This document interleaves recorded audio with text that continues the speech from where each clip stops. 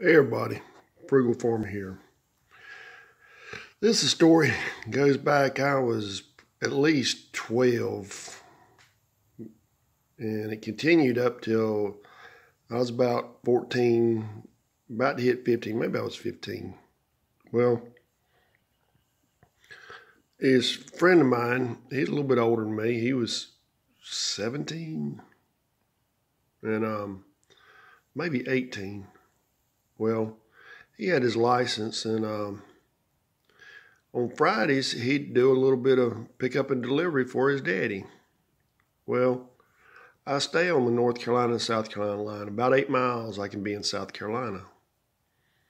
Well, North Carolina alcohol is controlled by the ABC board, uh, called it Alcohol Beverage Control, I think, which uh, a lot of people refer to it as American Business College and of Aunt Bessie's Cafe. But in South Carolina, all the liquor stores down there were independently owned.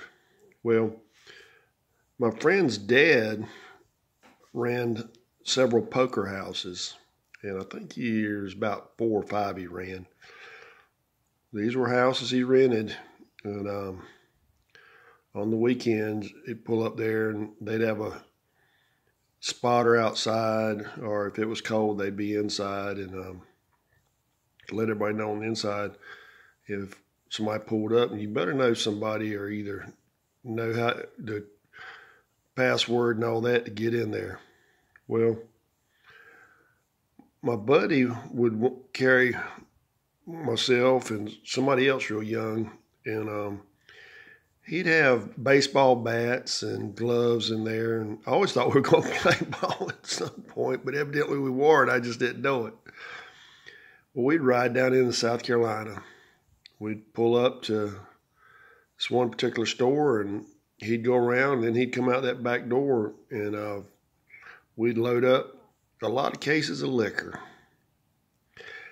I could only assume that there was a better price to be had in South Carolina on this liquor, but bring it back into North Carolina at that amount was not of a good idea, but he had us as his cover. Well, when we'd get loaded up, we'd come back in and uh, we'd get through the back country and make our deliveries at all these spots where the poker houses were. He'd always give us a little few bucks or something for going with him, but we were the cover. And I didn't really figure this out till talking to him years later.